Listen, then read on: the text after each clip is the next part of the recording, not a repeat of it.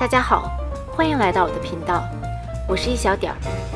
今天我们来用汤种法制作沙拉肠仔包。首先，我们来制作汤种，将水和高筋面粉倒入一个小锅中，开低火加热。加热过程中要不断搅拌，确保面糊受热均匀。汤种法的原理是先将一部分面粉和水加热，使其中的淀粉糊化，提高它的锁水能力，最终提高面团的湿润度和改善面包的口感。并且由于面团的吸水能力增强，在同样含水度的情况下，面团不粘手，更好操作。当面糊变稠或者温度达到六十五度时，关火。把它盛到一个小碗中备用。接下来，我们来制作煮面团。将除了黄油之外的所有材料都加入到搅拌盆中。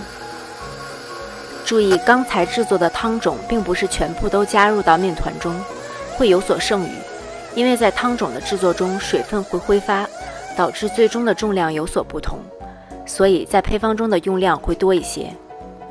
用厨师机三档搅拌大约十分钟，用手撑开面团，大概能形成粗糙的膜，这说明面筋已经开始成型了。这个时候我们就可以加入软化好的黄油了。加入黄油后，继续搅拌十五到二十分钟。汤种法不像中种法那样，一部分面团在事先发酵中已经形成了大量的面筋，汤种法的揉面时间会更长一些。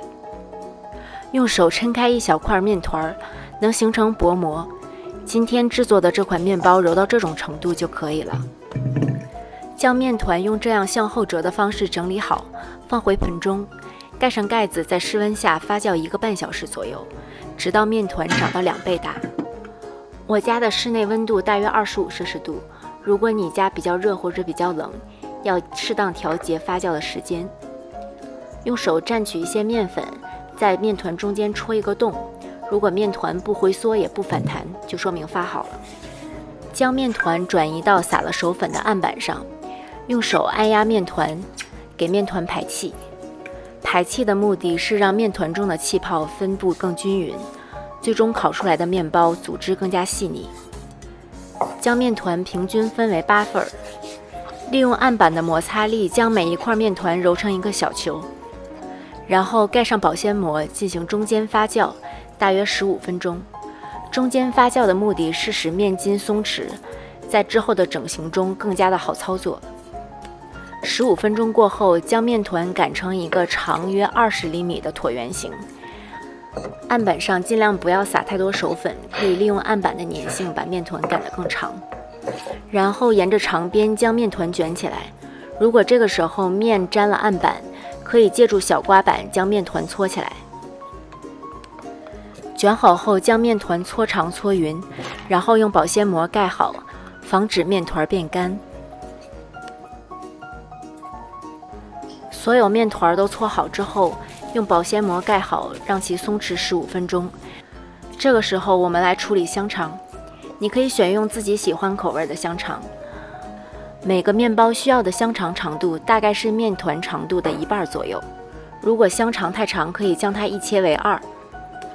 拿出醒好的一个面团，将一端展开捏扁，然后把香肠包在中间。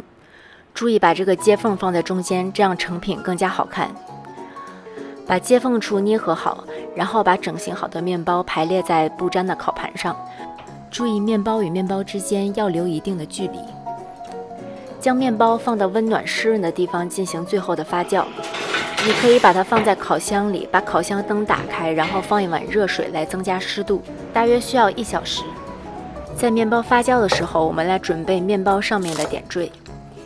将一颗小葱切成葱花，准备一大勺美乃滋酱，把它放在一个裱花袋里，然后将裱花袋的前端剪一个小口。如果你没有裱花袋，可以用塑料袋代替。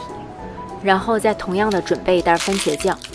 当面包发到一点五倍大的时候，把烤盘从烤箱里拿出来，然后把烤箱预热至三百五十华氏度或者是一百八十摄氏度。在面包的表面均匀地涂上一层鸡蛋液，然后分别挤上番茄酱和美乃滋酱，最后再在上面撒上一点葱花作为装饰。当面包长到原来的两倍大时，就可以拿去烤了。用手这样在面包上戳一下，如果它不回弹也不回缩，就说明发好了。把面包放到预热好的烤箱中层，烤十五分钟。烤好之后，把面包转移到烤架上，稍微晾凉。我先替大家掰开一个尝一尝，柔软的面包配着浓郁的酱汁和葱花的香气，最重要的还有肉。真是太满足了！谢谢大家的收看。如果你喜欢这个视频，请不要忘记给我点赞并订阅我的频道。我是一小点儿，我们下期再见。